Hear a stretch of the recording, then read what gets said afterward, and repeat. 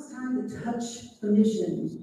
And it is my pleasure to introduce Bridgette Love and Yolanda, Yolanda Robinson. Please, please come to the podium.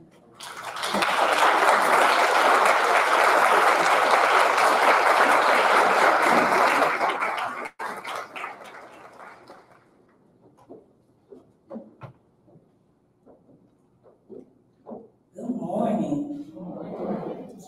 I am Bridgette Love. I am a former Foote Home resident. I now live in the University Place and have been a part of the USI community for several years. I have always been the kind of resident person and mother who wants to take care and support my family. I have always been open to program planning and have taken a part in all activities provided by USI, MHA, South City, the South City community. Even in, been employed full time, I always present, pre- was present and participated, whether it was volunteer, resident ambassador, or mentorship program, or my children participating in summer activities. In the late nineteen ninety-nine, I lost my employment. Throughout my employment, I worked with my family support specialist on a continuous basis who assisted me with my employment research.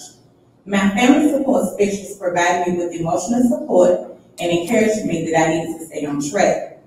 Then the pandemic came, and I continued to check in on a weekly basis, and the job market practice was non-existent. But I did not lose my hope. I kept my faith knowing that this too will pass.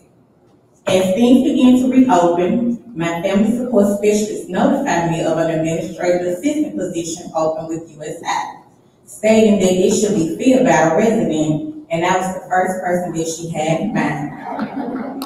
Even when this being in mind, despite it that I worked in accounts payable, my family support specialist encouraged me to interview because she knew what type of person I was and she knew my work ethic.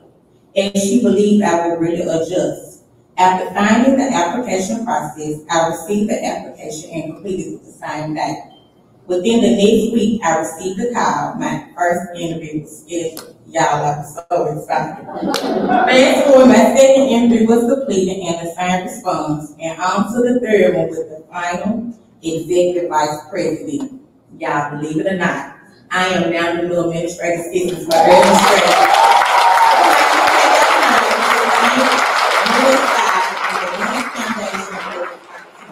Thank you.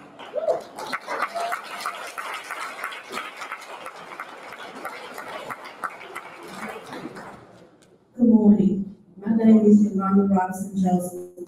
I am a former Home resident. I grew up there, and now I am a resident of South City. I would like to thank the lovely women of the Women's Foundation, Ms. Leslie, my Getting Ahead teacher. I was one of the first graduates of the Getting Ahead program.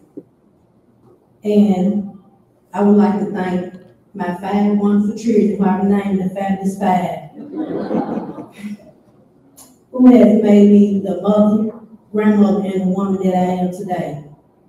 They was my motivation to return to school to receive my education that have helped always instilled in them to receive. My life as a teen mom was not easy. By the age of nineteen, I was a mother too. Being a single mother and going to school was so hard for me. I made the, and I was so far behind, I made the difficult decision to drop out of high school. By the age of twenty-four, I was a mother of five.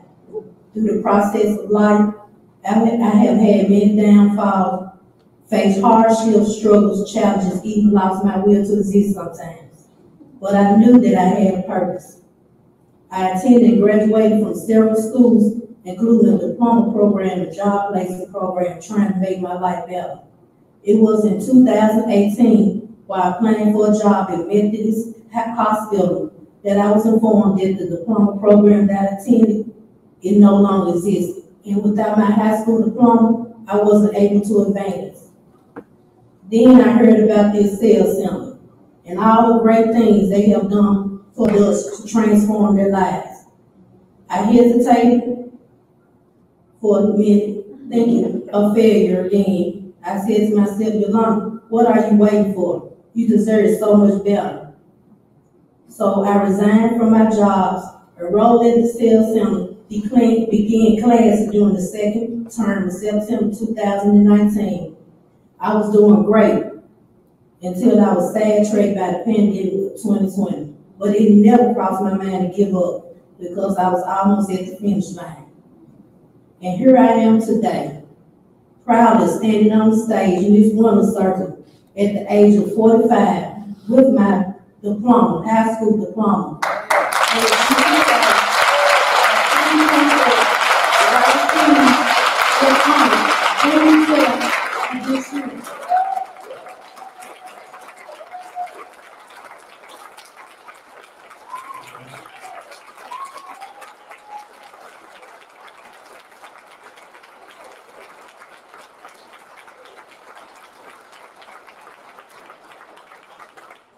In my second step in journey life, I will be attending Southwest to major in criminal justice. And then serving my education at the University And my last step is to receive my master's.